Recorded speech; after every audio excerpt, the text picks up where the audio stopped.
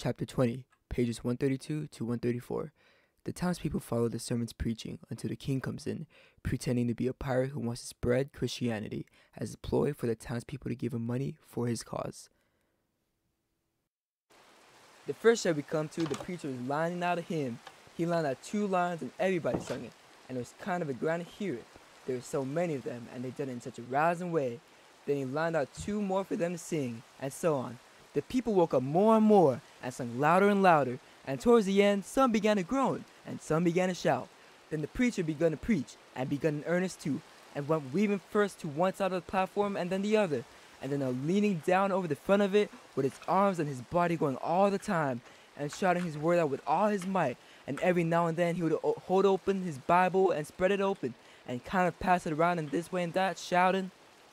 It's the brazen serpent in the wilderness. Look upon it and live.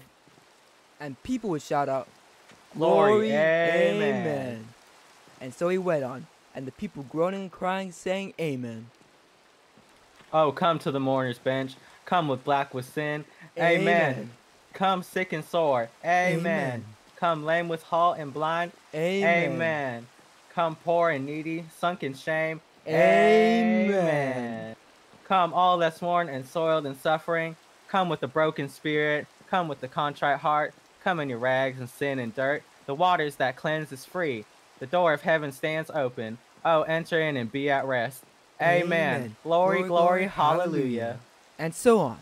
You couldn't make out what the preacher said.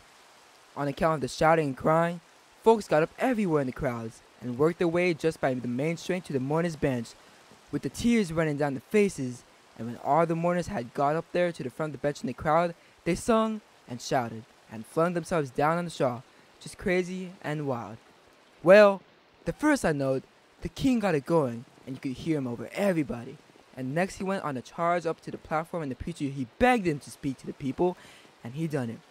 He told them he was a pirate, been a pirate for 30 years, out in the Indian Ocean, and his crew was thinned out considerable. Last spring in a fight, and he was home now to take out some freshmen, and thanks to goodness he'd been robbed last night and put ashore off of a steamboat without a cent, and he was glad of it. It was the blessedest thing that ever happened to him because he was a changed man now and happy for the first time in his life. And as poor as he was, he was going to start right off and work his way back to the Indian Ocean and put in his rest of his life trying to turn the pirates into the true path.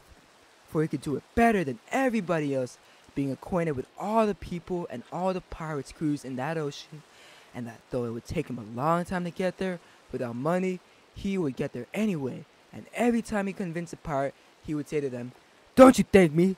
Don't you, don't you thank me? Don't you give me no credit? It all belongs to them people in Pokeville camp meeting. Not your brothers and benefactors of the race, and that dear preacher there, the truest friend a pirate could ever had." And then he busted into tears, and so did everybody. Then someone sings out, Take up a collection for him. Take up a collection. well, a half a dozen made a jump to do it. But someone sings out, Let him pass the hat around. So the king went out- throughout the crowd with his hat, swabbing his eyes and blessing the people, praising them and thanking them for being so good to the poor pirates away off there. And every little while, the prettiest kind of girls, with the tears running down their cheeks, would up and ask him would he let them kiss them for to remember him by. And he always done it. And so and some of them he hugged and kissed as many as five or even six times. And he was invited to stay a week. And everybody wanted to live in their houses and said they think it was kind of an honor. But he said as this was as the, the last day of the camp meeting, he couldn't do no good. And besides, he was in a sweat to get to the Indian Ocean, ride off and go to work on the Pirates.